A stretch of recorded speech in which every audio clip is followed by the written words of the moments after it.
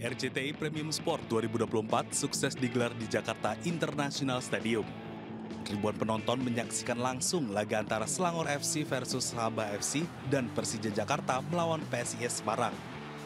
Match pertama yang mempertemukan Selangor FC dan Sabah FC berlangsung tegang. Kedua kesebelasan asal Malaysia ini bermain menyerang. Meski akhirnya Sabah FC mengakui keunggulan Selangor FC dengan skor 3-2. Sementara pada match kedua pun tak kalah menegangkan, di mana Persija Jakarta bertemu PSIS Semarang. Macan Kemayoran dapat mencengkram pertahanan dan membobol gawang PSIS Semarang di menit ke-22. Dan hingga akhir laga, Persija Jakarta unggul 1-0 dari PSIS Semarang. Atas kemenangan ini, Selangor FC akan menantang Persija Jakarta di partai final pada 2 Juni 2024 mendatang di Jakarta International Stadium.